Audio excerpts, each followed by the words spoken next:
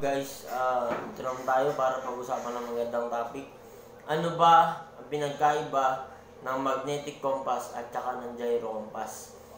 Guys, isa to sa mga tinatanong sa interview. Ang magnetic compass, guys, is nakabase siya sa magnetism ng Earth. Kaya, ma- madali siyang naapektuhan ng magnetism ng Earth. Kaya, liable siya sa error, sa compass error.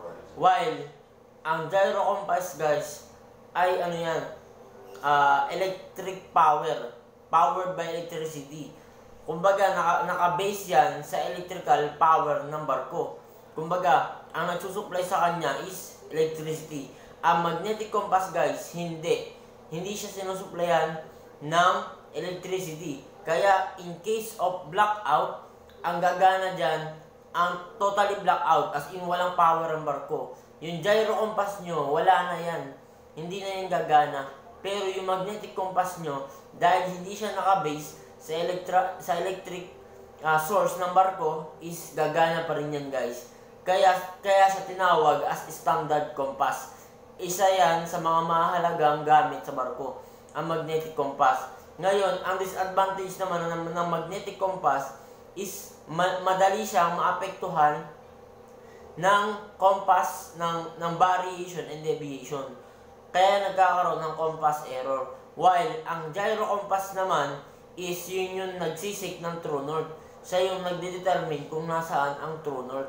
Yun yung advantage ng ng gyro compass. Ang gyro compass guys, meron tayo master gyro compass and and, and repeater sa barko guys, yung nasa timon, kung makikita mo, yun yung master gyro compass. Sa doon, meron siya mga repeater.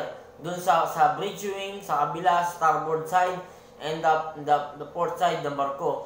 Meron niyang, uh, meron niyang uh, uh, gyro compass repeater. Kumbaga, naka-interface yan. Naka-connect yan doon sa master gyro. Kumbaga, kung ano yung kung ano yung nakalagay sa master gyro, nakalink yan, nakakonekta yan doon. Kaya, yun yung yun yung advantage ng gyro compass. Siya yung nakakakita, siya yung nagdetermine kung nasan yung true north. Yun lang guys, sana nakatulong tong vlog nito guys. Kasi sa interview, mahalaga to na ang gyro compass is nagbe sa electricity while the magnetic compass can stand alone. Yun lang guys. Pero, ginagamit din yan, ang gyro compass sa pag, pag ano ng bearing, pagsukat ng bearing ng target.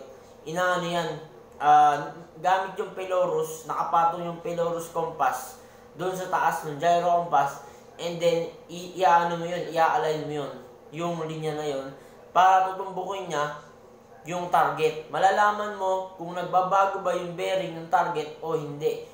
Kung para yan sa collision avoidance. Ibang topic naman yun guys. Kaya salamat guys sa, sa pakikinig. Maraming maraming salamat guys. Sana patuloy pa rin kayo mag-subscribe. And sa, ano nga pala, Decadent Aquino. Ako po ay nagkaroon ng company sa sarili ko pong diskarte at sarili kong uh, sarili kong pamamaraan. And I'm proud to be. Nakaya ko, kaya nyo din. Guys, tuloy lang ang pag-aaral.